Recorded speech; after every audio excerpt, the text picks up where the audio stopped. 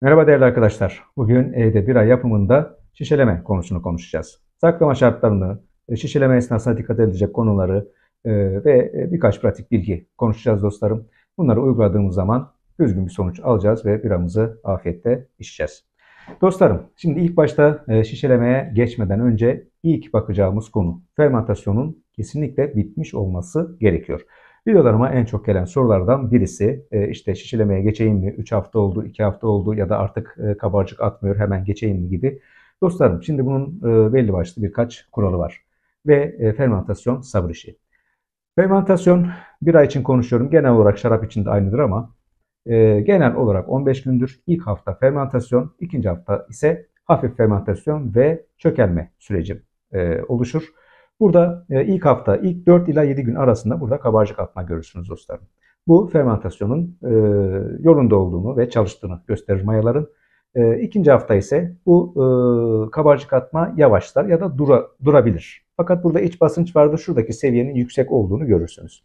Bu da e, o arada artık maya çalışmayı bırakmıştır. E, karbondioksit üretmiyor yani gaz çıkışı yok e, ya da çok hafif.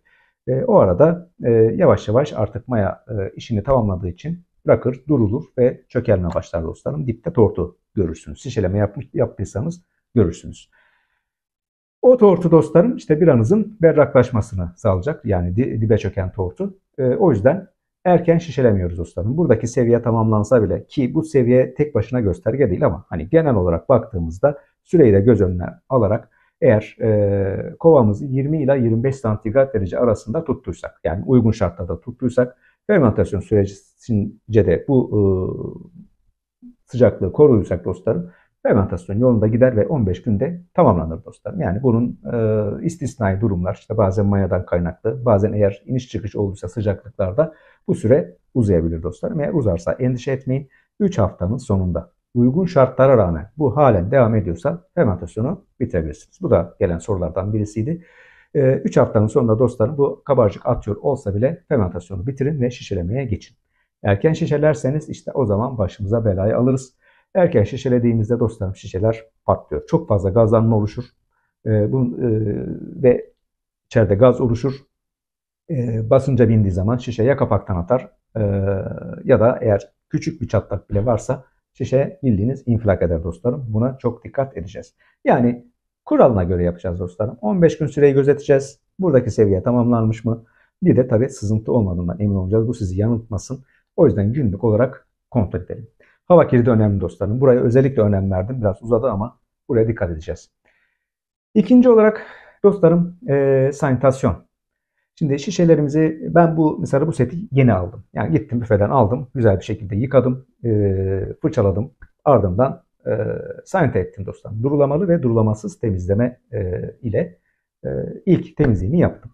Şimdi burada e, önemli bir şey söyleyeceğim. Daha önce başka videoda paylaşmıştım ama şimdi e, sanitasyon her seferinde, her şişelemede yapmanız gerekmiyor.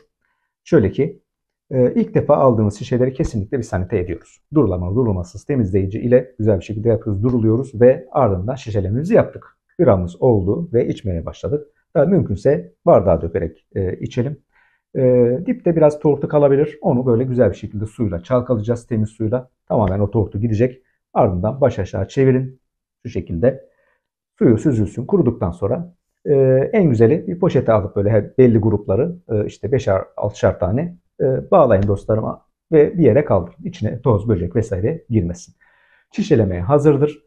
Şişeleme esnasında yani şişeleme günü geldiğinde direkt e, doldurabilirsiniz. Yok işiniz el vermediyse şöyle temiz su, kaynamış su olmuş su ile bir durulama yapıp şöyle basit bir şekilde e, hazırlayabilirsiniz. İçinde az miktarda su kalabilir. Hiçbir sıkıntı yok. E, o şekilde şişeleme yapabilirsiniz. Eğer sanitasyon sıvınız yoksa yine daha önceki videolarda paylaşmıştım çamaşır suyu ve su karışımı ile e, sanitasyon sıvısı hazırlayabilirsiniz. İçeriği hemen hemen aynıdır e, durulamalı temizleyici ile. O yüzden e, şöyle 1 litreye e, kapak kendi kapağıyla şöyle bir e, çamaşır suyu ama ultra yoğun değil. Normal bildiğimiz standart çamaşır suyu olacak. Ondan e, döküp karıştırın dostlarım. Ardından e, her bir şişeye gezdirip durulamalı temizleyicinin işlemini yapmış olursunuz. E, güzel bir şekilde Durulayın. Duruladıktan sonra kaynamış soğumuş su ile e, tekrar durulayın.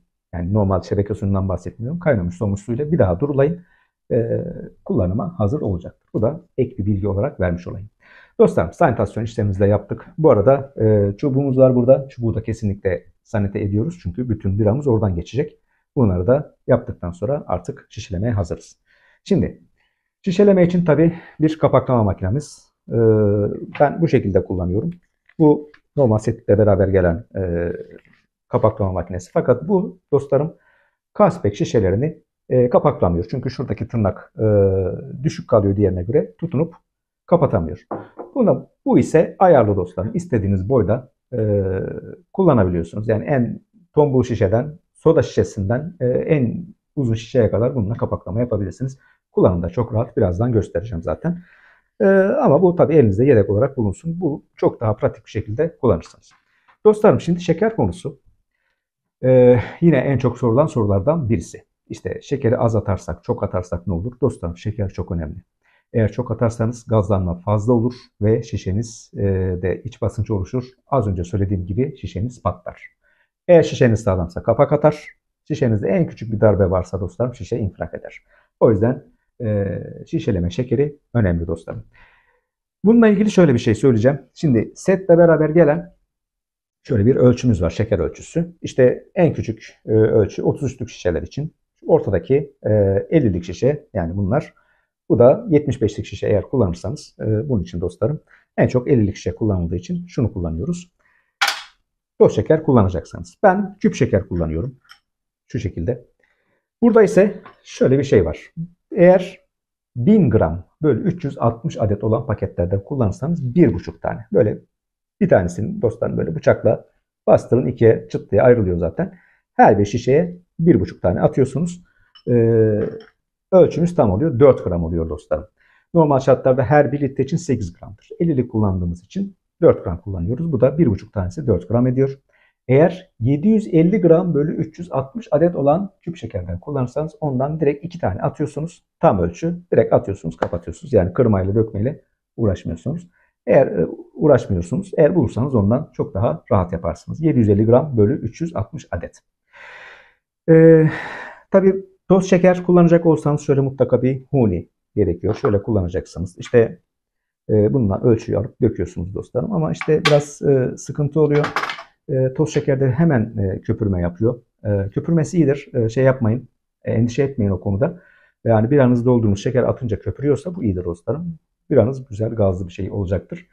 E, tabii önce bir tadına, kokusuna bakın. Eğer e, bir sıkıntı yoksa e, bir anız güzel olacaktır. Ama eğer kötü kokuyorsa e, tadı çok çok ekşiyse e, enfekte olmuştur. Onu aslında hiç şişelemeyin diyeceğim ama size kalmış tabi. E, tüm sanita kurallarına uyduysanız zaten bir sıkıntı olmayacaktır.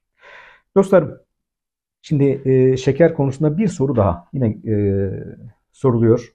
Dextroz çok e, şeker e, bazen şeylerin yanında gönderilir dostlarım. Eğer gönderilen paket 1000 gram ise yani 1 kiloluk şeker e, şeklinde gelmişse kurulum için gönderilmiştir.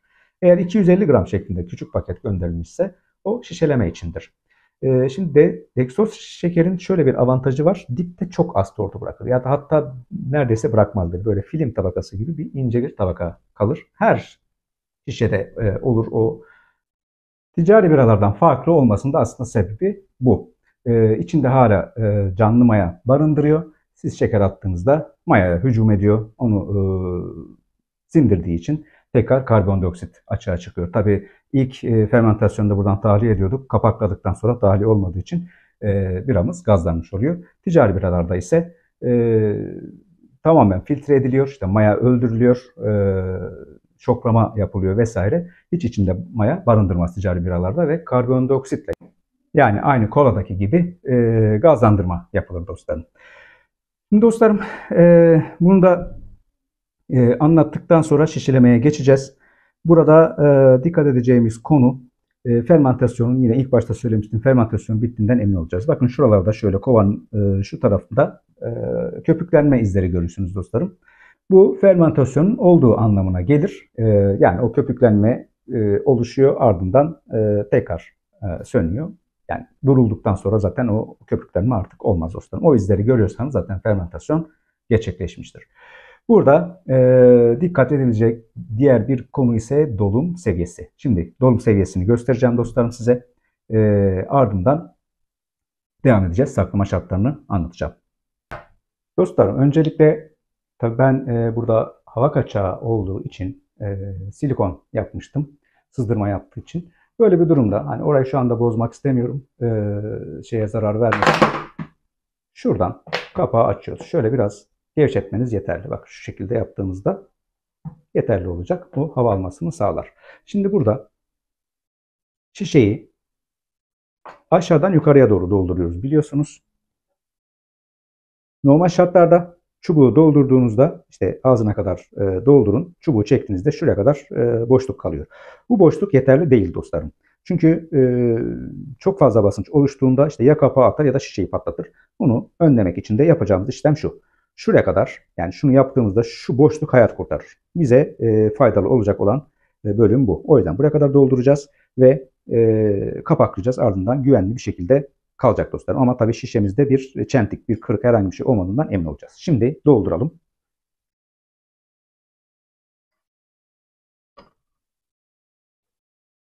Tabii önce açıyoruz.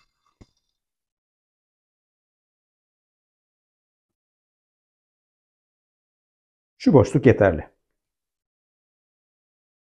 Şimdi şekerimizi atacağız. Şeker attığımızda köpüklenme yapabilir. Burada dikkat edeceğimiz konu dostlarım e, o köpük taşmadan e, kapaklamak. Ha, taşma olmazsa yani çok fazla köpürmesi de e, problem olduğu anlamına gelmez dostlarım. Fermentasyon yolunda gittiyse o biranız gazlanır ama e, köpürmeyi görürseniz kesinlikle gazlanacağından emin olmuş oluyorsunuz. Şimdi bir tane atıyorum. Yani daha doğrusu önce yarımımı atıyorum. Tümümü atıyorum. Şöyle göstereyim.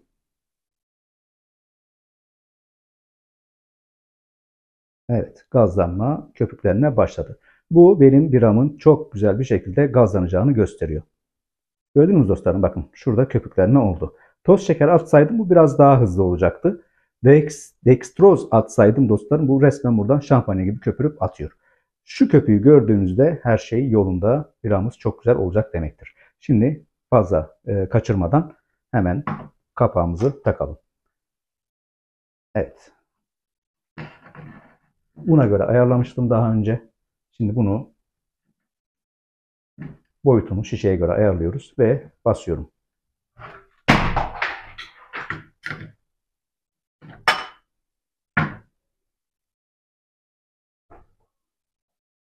Gayet güzel oldu. Kapaklar gazoz kapağı. Şimdi kapak konusuna da değineceğim zaten. Şişeleme bu şekilde gayet kolay oluyor dostlarım. Az önce bir ses duydunuz o e, adaptör düştü. E, yoksa bu kadar gürültü çıkartmıyor. Dostlarım e, şimdi şu gördüğünüz e, seviye dediğim gibi çok önemli. Bunu bu şekilde yapıyoruz. Ardından şöyle bir yarım saat sonra yani şu şeker iyice e, ıslanıp dibe yayılacak dostlarım. Bunu bu şekilde bırakmayın. Eğer bu şekilde bırakırsanız orada böyle o tortuyu hiç ellemeyin. O tortuyu böyle tümsek olarak görürsünüz dostlarım. İşimize yaramadan öyle bekler. Yapacağımız şey şöyle bir yarım saat sonra bütün şişeleri bitirdikten sonra dostlarım şöyle biraz bekleyin. Ardından bunu şu şekilde çalkalayın. Şekerin eridiğinden emin olun. Ardından yani şurada şöyle köpürecek falan endişe etmeyin. Hiçbir sıkıntı olmaz. Şu şekerin eridiğinden emin olacağız. Ardından bunları ilk birkaç gün ılık ortamda. Ilık ortam ile kastımız yani e, en fazla işte 25-30 santigrat derece e, arasında mümkünse burayı geçmeyeceğiz. E, bu aralarda beklerse e, ilk 3 gün e, maya çalışacaktır ve gazlanma sürecini başlatacaktır dostlarım. Soğuk ortamda kesinlikle olmaz, gazlanmaz çünkü maya uykuya geçer. Şimdi yine sorulan sorular arasındaydı. İşte direkt bunu buzdolabına alıp bekletsek olur mu? Olmaz dostlarım çünkü maya çalışmaz. Belki uzun vadede olabilir ama hani eğer maya uykuya geçerse şu gazlanmayı göremezsiniz dostlarım. Çok uzun vadede belki gazlanır bilemiyorum ama e, normalde e, 15 derecede itibaren maya zaten kesinlikle uykuya geçiyor. E, o yüzden ilk birkaç gün ılık ortamda sonra bekleyeceği ortam. Yani sıcak olsa da olur sıkıntı değil ama mümkünse yine 25-30 santigrat derece arasında en fazla olacak sıcaklığı söylüyorum. Orada bekletin. Yani bekletileceği sıcaklık 15 ila 25 santigrat derece arasıdır ideali. Oraya taşıp e, bekletiyorsunuz dostlarım. Yine daha önceki videolarımda bahsetmiştim. Kesinlikle bir kutu içerisine ya da bir e, dolap içerisine alın. Kapaklı dolap. Çünkü dediğimiz gibi şişede bir sıkıntı oluşursa ve şişe patlarsa etrafa şarapnel gibi parçalar e, atıyor ve bu tehlike oluşturur. Bundan dolayı kutunun içinde olabilir. Poşetin içinde olabilir. En azından patlarsa hani içinde kalsın. E, zaten fark ettiğinizde önleminizi alırsınız. Nasıl bir önlem alacağız? Böyle bir durum oluşursa. Yani tabii şişenin e, kırık, çatlak olma ihtimali var. Hani bunu göz önünde bulundurun ama e, eğer bir iki tanesinin daha patlama olursa bu e, işte çok fazla gazlanma oluştuğu anlamına gelir ve bütün şişelerinizin patlayacağı anlamına gelir. Bunu önlemek için hemen ilk yapacağımız şey dostlarım hemen soğuk bir tarafa, soğuk bir yere almanız gerekiyor. Soğuk ile kastım buzdolabı. E, buzdolapları 4 ila 8 e, santigrat derece arasında çalışır. Bu soğukluğa girdiği zaman maya tamamen e, gidecektir. Yani aktif e, olmayacaktır. E, ve durulacaktır dostlarım. Soğuk e, hava ile e, yani fermentasyon iç, içinde olan fermentasyon tamamen duruyor. E, hareket olmuyor artık. Soğuma sürecinde e, o şey durulur dostlarım şişeleriniz patlamaz. Yani oraya güvene almış olursunuz. Tabi şişeleri dizerken de çalkalamamaya dikkat edin. Daha fazla içinden köpürüp basınç oluşturmamak için.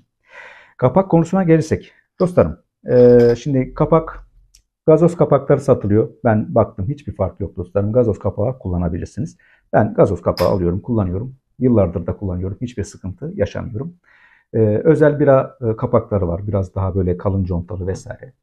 Olabilir. Yani uzun süre bekletecekseniz ya da ne bileyim e, size kalmış. Ben ama gazoz kapağı çok da işimizi görüyor. Hiçbir sıkıntı olmuyor. Kapakları kaç kez kullanabiliriz diye soran arkadaşlarımız vardı. Normal şartlarda birkaç kez kullanabilirsiniz. Yani işte hani 3 kez, 4 kez kullanabilirsiniz ama 5'ten itibaren zaten 5.ye size müsaade etmez. Çünkü artık deforme olur. Ama ben riske girmiyorum dostlarım. Yani çok para değil. Ee, bir tane kapak için şu komple bir ayı riske atmaya değmez dostlarım. Yani kapak e, kar edeceksiniz ama bütün biranız gidecek. Bütün emek, bütün hani parasını bırakın ya da maliyetini bırakın. Yani o emek ya da giden bira. Biranın şu anda değeri ölçülemez dostlarım. Bunun maliyetiyle falan alakası yok. O yüzden riske girmeyin. Yani yeni kapak, sıfır kapak kullanın derim. Sadece naçizane öneri. Dostlarım, saklama şartlarında dediğimiz gibi bir dolap içerisine koyun ve e, orada bekletin. E, bekletme sıcaklığını söyledim. Peki ne kadar bekleyebilir? 4 yıla kadar bekleyebilir. Hiçbir sıkıntı olmaz. E, fakat şunu söyleyeyim. Bira taze tüketilmesi gereken bir e, içecektir. Mümkün ise 3 ay içerisinde tüketin. Yani gazlanma sürecinden itibaren e, 3 ay içerisinde. Çünkü e, 3 aydan sonra ee, bir andızın rengi koyulaşmaya e, ve tadı değişmeye başlar. Böyle hafif pekmezimsi bir tat oluşmaya başlar. Kesinlikle tehlikeli değil, içilebilir. Bir sene sonra için, iki sene sonra için hiçbir sıkıntı olmaz. Fakat e, yani ben böyle denemeler yaptım. Birkaç böyle bira bekletip e, baktığımda hiçbir sıkıntı yoktu. Ama ilk yaptığım biranın tadında değildi. Tamamen başka bir kit kurmuşum gibi e, oluyor. Ee, böyle birkaç tane bekletmiştim hani e, hem bu sonuçları paylaşabilmek için. E, daha önce hiç paylaşmamıştım çünkü sizinle bunu.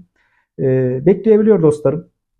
Sıkıntı olmuyor ama dediğim gibi biraz taze tüketilir. O yüzden mümkünse ilk 3 ay içerisinde tüketin. Yani atıyorum işte hava şartları işte bahar aylarında işte Mart, Nisan, Mayıs içerisinde stoğunuzu yapın. Çünkü yazın yapmak çok zordur. Sıcaklıktan dolayı. Yaz sonuna kadar sizi idare edecektir dostlarım. Ve e, bütün yaz keyfini sürersiniz. Dostlarım anlatacaklarım bu kadar. Umarım verdiğim bilgiler faydalı olmuştur. Başka videoda görüşmek üzere. Kendinize iyi bakın. Hoşçakalın.